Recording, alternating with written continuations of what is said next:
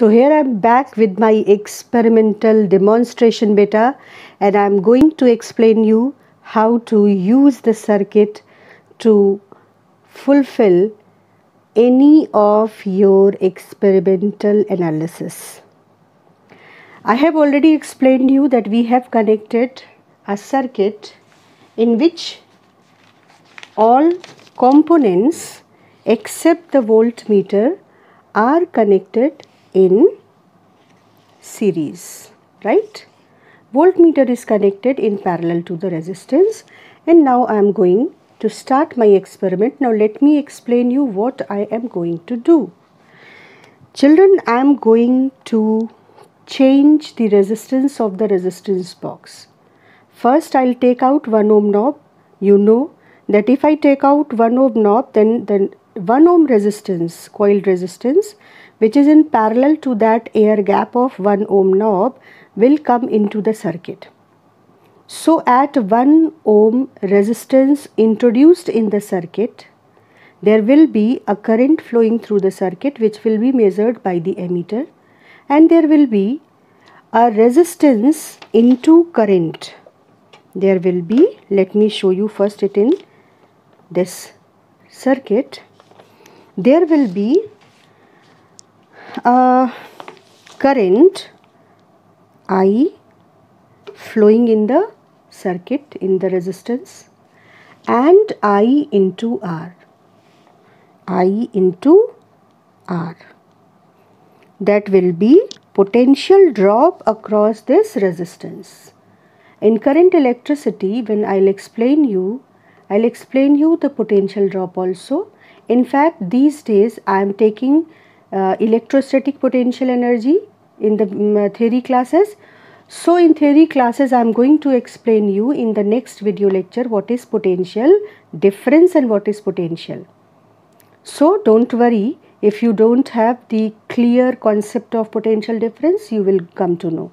So V is I into R that much you have gone through in class 10th that this much voltage difference potential difference will be across this resistance and that will be read by the voltmeter. Now imagine if current which if resistance was 1 ohm first and then I increase the resistance from 1 ohm to 2 ohm. I increased the obstruction offered by the circuit. Then what will happen beta? If you increase the resistance, then the current in the circuit will decrease. If you increase the resistance, then current in the circuit will decrease. And if current in the circuit is decreased, the V which is I into R will also decrease because resistance of the circuit, uh, this wire is taken to be constant. Here one more thing, in errors you have gone through the random air concept and systematic air concept. Actually, we take the condition that temperature of this wire remains constant. But if current flows through the resistance, although this material of constantan or manganin has this property that if temperature increases, their resistance is not increasing in that fashion, but resistance still changes a little. So, this voltmeter reading and the ammeter reading, whatever we are taking from the two uh, devices, V upon I should be constant whether it is 1 ohm or 2 ohm or 3 ohm resistance taken out from resistance box. But with the fact that this material will not have exactly same resistance at different temperature and when current flows through this uh, resistance for some time the wire gets uh, heated up. You can touch the wire and you can feel the temperature increase. So that is why we don't have v upon i exactly same value for 1 ohm for 2 ohm for 3 ohm resistance of the resistance box so that error, we take that error into the consideration and we say that in the permissible error range which is the 10% error which is allowed in the standard re uh, result eh, within the permissible error range, the V upon I should be constant. So it will not come exactly same, but it should come, the values should come close to each other. Is it clear? So now I am going to increase 1 ohm, 2 ohm, 3 ohm the resistance of the circuit. Each time you will see that current is decreasing and the voltmeter reading or V is also decreasing accordingly. So let me start our experiment and I am showing you the observation table which carries lot of marks in your practical exam beta. If you want to get full marks in your practical exam then you have to draw technically correct observation table and you have to write technically correct way uh, in technically correct way the observations see the very first thing which I am supposed to write here is the least count of all the apparatus which we are uh, using. This is very important if you are not writing then according to the board rule the marks will be deducted. Then if ammeter reading I'll show, show you how to take reading. If I am taking ammeter reading I'll show you that this least count if it is up to 2 decimal place then my all reading should be up to 2 decimal place if it is voltmeter reading is up to 2 decimal place then my all reading should be written up to 2 decimal places are you getting this very important point the least count of the device which you are using should be taken into consideration then these star marks all the units if you forget to write the unit. Then according to the board rule, your marks will be deducted. So let me start first the experiment and take the readings. Let me first tight all the knobs before starting the experiment. You have to take care of it. Then see 1 ohm resistance. I am focusing because I have to show you the values of voltmeter and ammeter. So see I am taking 1 ohm resistance it is written here 1 ohm. So I am taking 1 ohm resistance out can you see it? The 1 ohm resistance is taken out and switch on the battery. The voltage applied is 3.5 volt and you have seen when there was no current flowing through the circuit then EMF of the battery was 3.5 volt. Now this voltmeter reading see this voltmeter reading is the reading across this resistance. The voltmeter reading let me show you the voltmeter reading is across this resistance because it is connected in parallel to this resistance. So voltmeter reading is whatever is reading between the point A and point B of the circuit diagram. So let me show you how to take reading.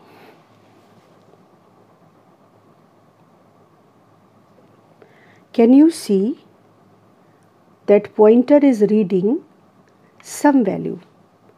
Now till you are not confident enough don't read the voltmeter directly because then you will certainly read the wrong reading. So what is the method to uh, read the reading of the voltmeter and ammeter?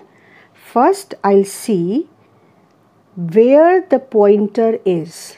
I'll count the number of lines, number of divisions which the pointer have crossed see 10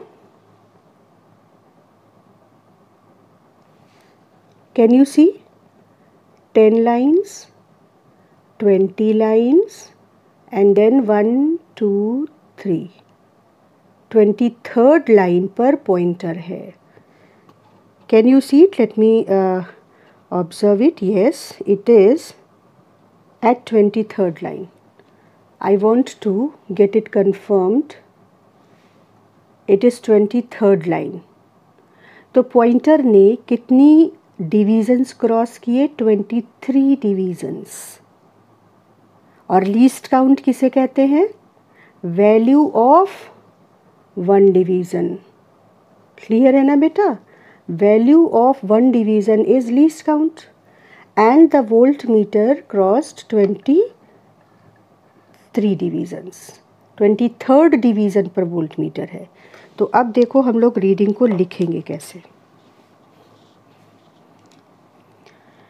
voltmeter reading always always use this method so that you are not making any mistake. Voltmeter reading will be number of divisions which the voltmeter pointer crossed into least count of the voltmeter. Now least count of the voltmeter i have explained you in the previous video lecture, but let me show you once again. देखो zero से 0.5 के बीच, ये 0.5 volt है और ये zero volt है।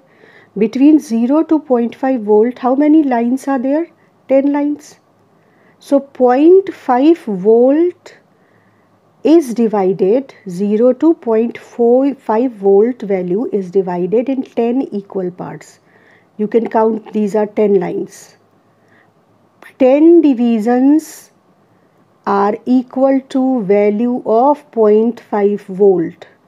So 1 division of the voltmeter will be equal to 0.5 upon 10 volt. This is simple unitary method.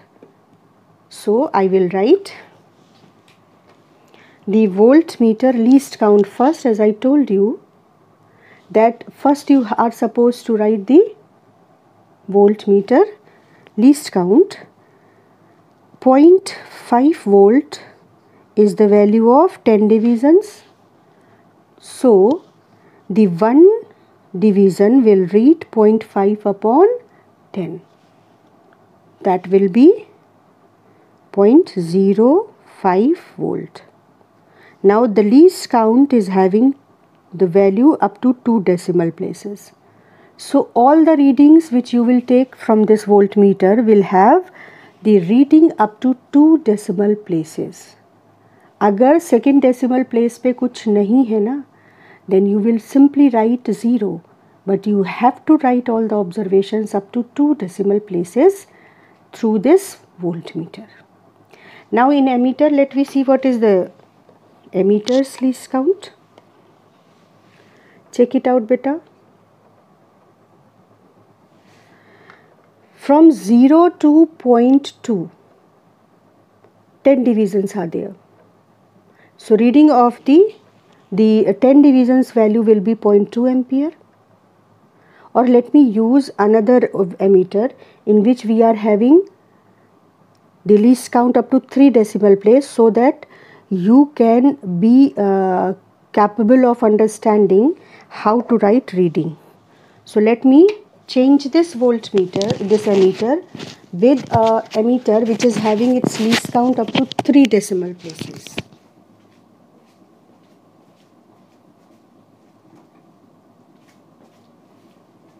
Here is the ammeter which is having least count up to 3 decimal places because I want my children to be confident enough volt meter change हो गया least count three decimal places तो तक हो गया।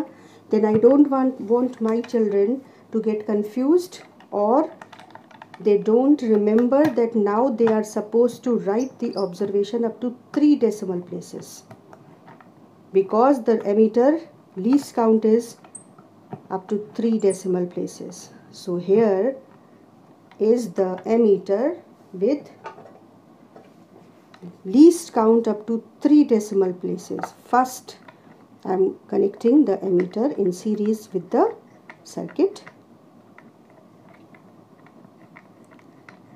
Is the experiment easy or difficult? Well beta, there are certain things which you are supposed to take care but there is this uh, experiment is not difficult So now let me see the ammeter.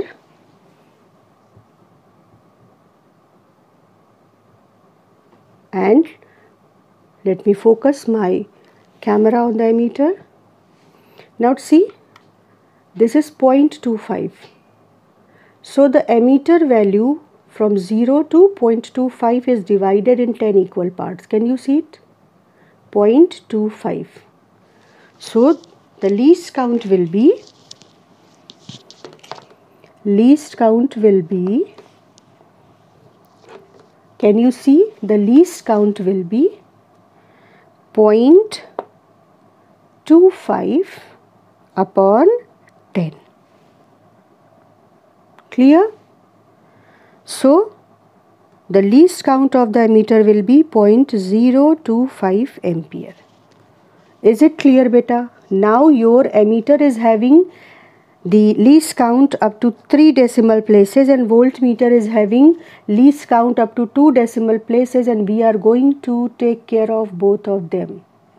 So let me start our reading. Switch on. I have already taken the voltmeter reading but let me show you again. Let me show you again. The pointer is at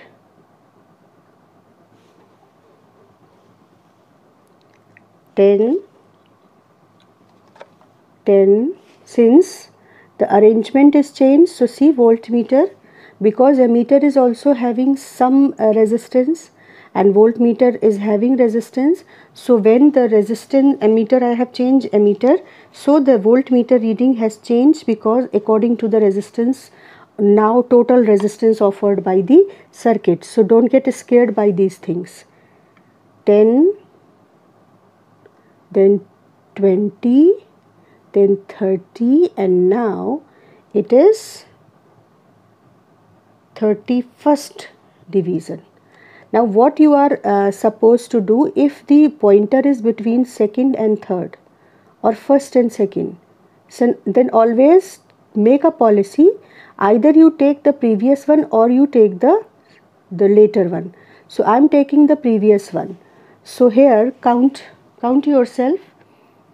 Between 0 to 0.10 division between 0.5 to 0 to 0.510 0.5 to 110 1 to 1.5 10 so total 30 and one more. 31 divisions are crossed by the pointer and pointer is at 31st division.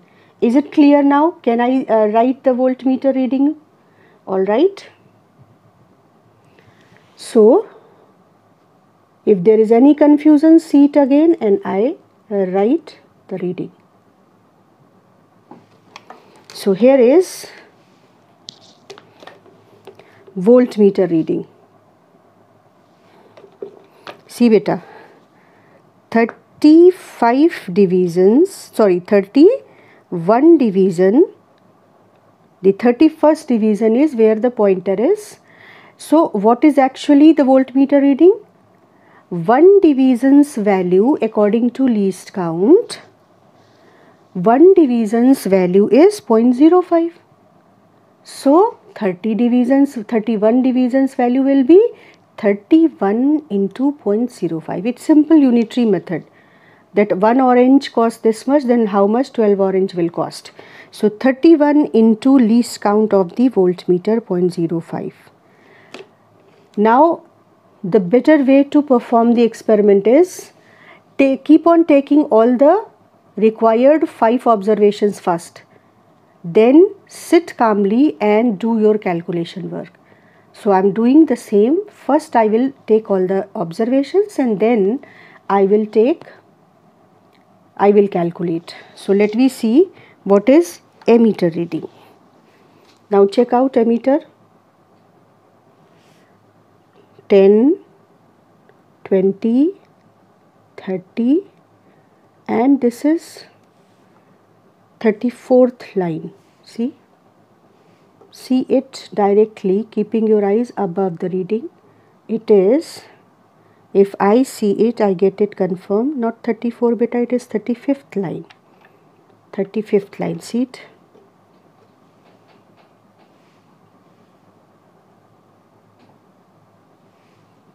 All of you can see 35th line? Shall I go with the reading? Alright so let me write my first reading 35 divisions into 35 division into value of one division of ammeter clear? Now I'm going to do it fast because I have already see I'll put the knob in the 1 meter 1 ohm resistance air gap. And now the 2 meter the uh, sorry 2 ohm resistance see 2 ohm resistance is introduced in the circuit. Now quickly check out the voltmeter reading. It is 24th division at which the pointer is. 10 20 and 24th division all of you can see? So 24th division into least count. Let me write 24 into least count. Right? Now let me see the meter reading.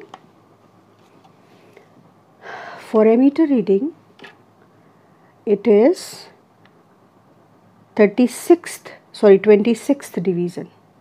See?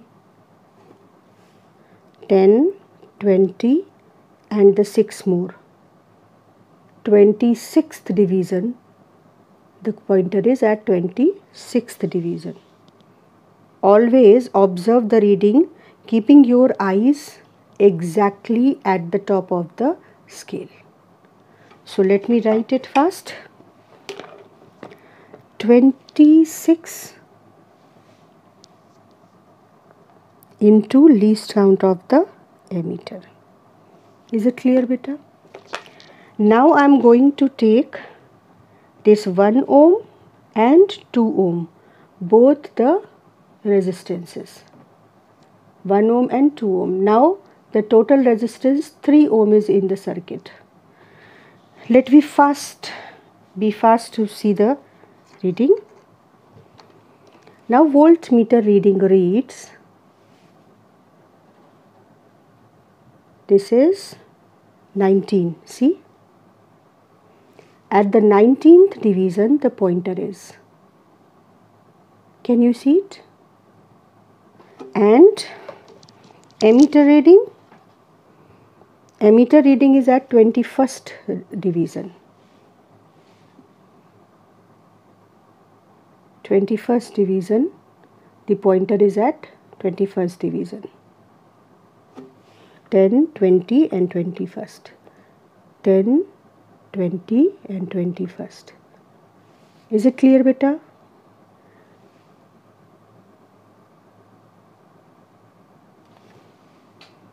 So let me write the reading.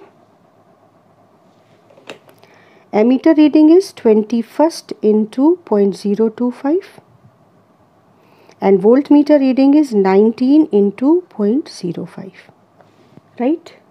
Now see what I am going to do. I'll put 1 ohm uh, uh, knob in the 1 ohm air gap. And now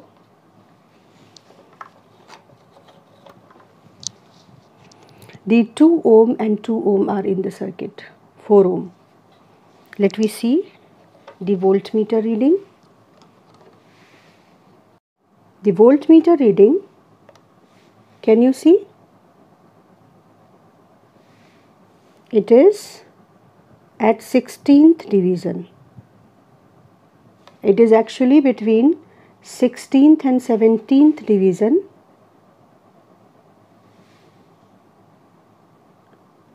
but I'll take 16th. The voltmeter reading is at 16th division into 0.05 and ammeter reading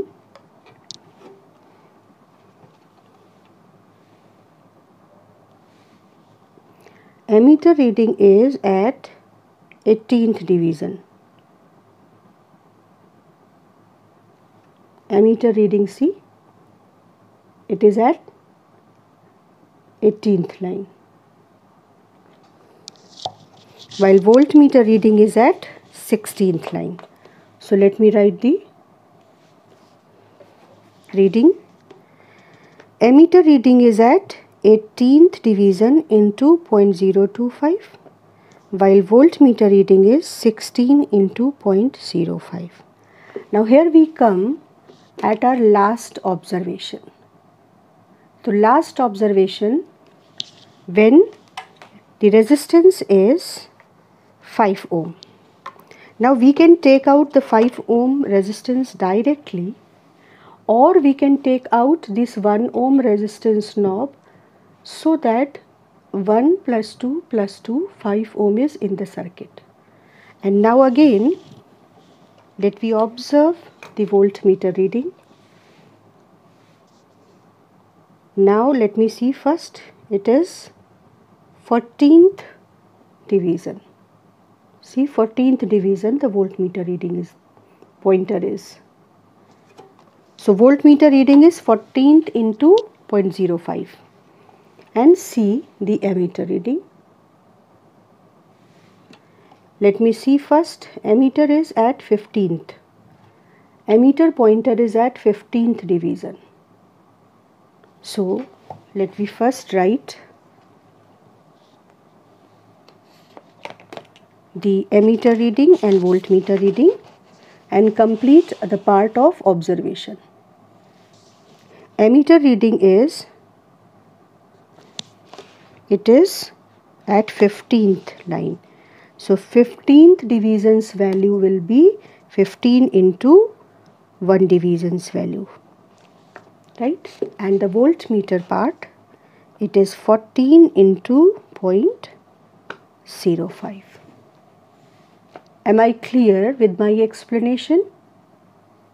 So I hope that all of you are getting benefited with the explanation how to connect circuit, how to take reading of voltmeter and ammeter.